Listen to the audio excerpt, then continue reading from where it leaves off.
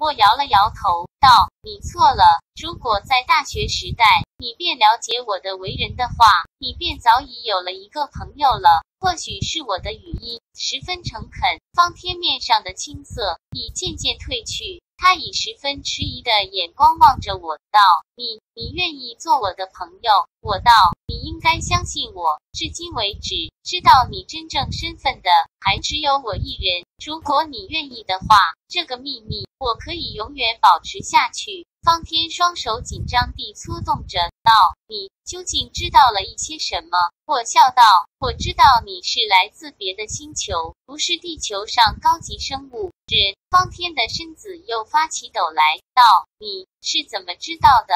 我道：“早在大学中，你血液的奇异颜色便已经引起我的疑心了。”方天沮丧地坐了下来。我又道：“你不知道，在日本，我是受了人家的委托来调查你的。”方天的神情更其吃惊，道：“受什么人的委托？调查些什么？”我道：“受你工作单位的委托，调查你何以在准备发射到土星去的强大火箭之中，装置了一个单人舱。”我讲到这里，不禁猛地拍了一下自己的额角。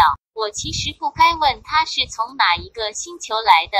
从他在准备射向土星的火箭中装置一个单人舱这一点看来，他毫无疑问是来自土星的了。我抬起头来向方天望去，方天也正向我望来，道：“他他们已经知道我的一切了。”我道：“我相信不知道，他们只是奇怪，你为什么不公开你的行动？”方天突然趋前了一步，紧紧地握着我的手，道：“卫斯理，你要帮我的忙，你一定要帮我的忙。”我在他的手臂上拍了拍，道：“我当然会帮你忙的，但是我首先要知道你的一切。”方天呆了片刻，道：“我们不妨先离开这里。你要知道，我的事，我绝不想被人知道。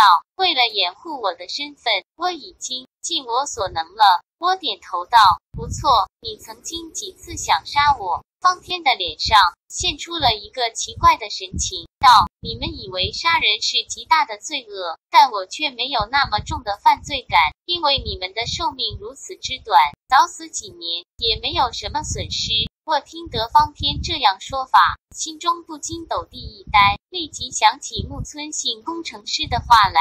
木村工程师曾说，从别的星球来的人对时间的观念是以他所出生的星球绕日一周作为一年的。方天极可能来自土星，而土星绕日的时间是地球的二十倍。那也就是说，地球上一个八十岁的老人，在他看来只不过十四岁的小孩而已。